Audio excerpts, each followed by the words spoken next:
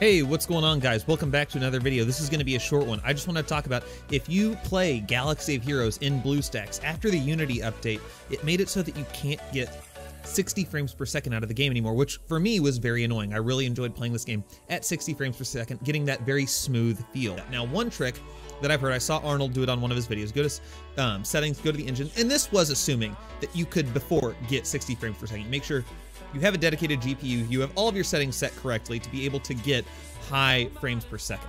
But notice if you look down here, it says 44, and we're down back down to 30. We're basically getting 30 frames per second.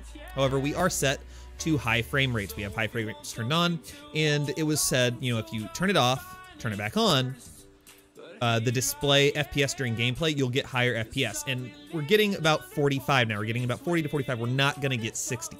Um, at least personally for me, that has not worked. If that works for you, um, that apparently does kind of help some people. So if that works for you, great, stop watching the video. This is what I have to do to get high FPS. So I go to my settings, go to my engine, scroll down, turn um, the FPS down to 60. Now note, you must be in the game. So you must be in the game, you must be getting 30 FPS.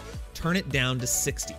Save. Notice this is gonna drop major. We're gonna get like five frames per second now. It's gonna be terrible. You then need to close BlueStacks and then reopen it. You will need to get back into the game. Don't do it yet.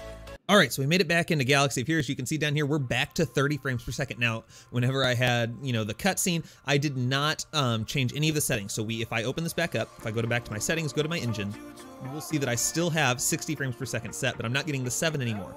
Watch this frames per second counter. I'm gonna kick this all the way back up to 240. I'm gonna hit save. Boom, watch this number right down here. 104. Look at that. Look at this nice, smooth 60 plus frames per second we're getting. Um, and it's going to stay that way. It's not going to drop at all. So this is the key for me on how to get 60 plus frames per second. Get into the game, turn it down to 60 frames per second, close BlueStacks, reopen BlueStacks, reopen Star Wars Galaxy of Heroes, and then kick the FPS back up to max you should be good to go. You should get max FPS um, and it should be working great. So guys, please comment down below if this works. If you have some other fix that works, please also comment that down below. Um, definitely just want to be able to help people get a pleasant viewing and gaming experience from this game. Um, so if you have any other suggestions, ideas, anything like that, please leave it down in the comments. Let me know and I'll pin um, that anyone has a good idea or an alternate solution. So guys, thank you so much. Hopefully you found this helpful. If you did, like, subscribe, all that fun stuff. We stream Galaxy Heroes all the time. So come drop by for a Grand Arena stream. And with that note, we will talk to you guys later. Have a great rest of your day. Peace out.